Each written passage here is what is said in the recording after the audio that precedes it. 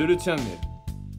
はいどうもこんにちは。看護師つるです。おつるる、えー今回は脱毛のメリットデメリットについてお話したいと思います。脱毛サロンに通う方は女性が多いんですけど最近は男性の方も増えていて自分で処理してる方も多いと思います。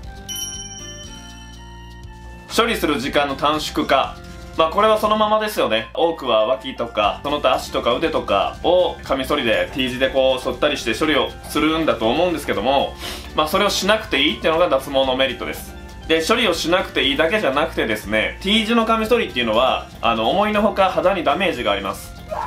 目には見えないんですけどちょっとひりついたりだとか赤くなる人もいてると思うんですけどそれをしなくてよくなる。かまあ産毛程度軽いあの T 字で処理が楽になるっていう段階まで持っていけるんでそういった意味でも脱毛はおすすめです。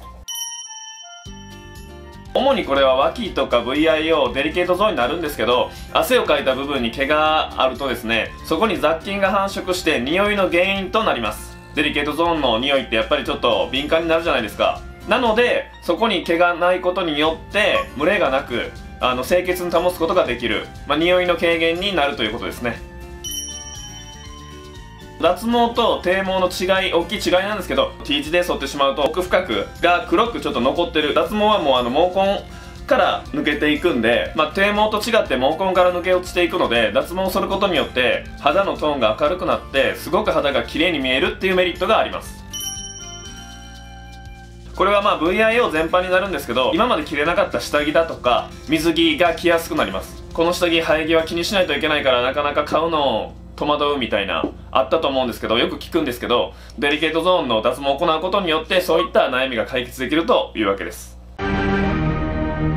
ここからはデメリットになるんですけどまあそこまでデメリットというのはないかなと思うんですけど脱毛してしまった場合はもう生えてこなくなってくるので例えばデリケートゾーンを全て脱毛してしまった。でもやっぱり生やしたい。あの形にしたいってなった場合は生やすことができない。っていうことになりますね。なのでまあ脱毛を行う部分どれだけ脱毛するかはよく考えてあの脱毛してもらえたらと思います。そしてもちろんお金と時間がかかります。皆さん知ってると思うんですけど脱毛サロンあの医療脱毛やったり光脱毛やったりおのおのお店によって値段は違うんですけどもまあそれなりに安いところはあるんですけど結局はお金かかってしまうんで安くはないですよね。まあいろんなね今はあのサロンが出てきまして都度払いやったり契約制やったり定額制やったりいろいろあるんで自分に合った脱毛サロンを選んでいただけたらと思います。でまあ僕自身もね脱毛サロンあの大阪の心斎橋の方でオープンしてるんで興味があったらあの相談だけでも来てもらえたらと思います。あの概要欄に載せてるんでそこから連絡してもらったらいつでもご予約できるんでまあ都度払い制がね主にやってるので来てもらって相談して一度だけその脱毛経験ない人でも予約がなかなか取れないっていう方もいてると思うんでそういう人でも全然あのウェルカムなんでもう一度来てもらっていろいろお話ししてもらえたらと思います。ではまた次の動画でお会いしましょう。それではみんなお大事に。バイバイ。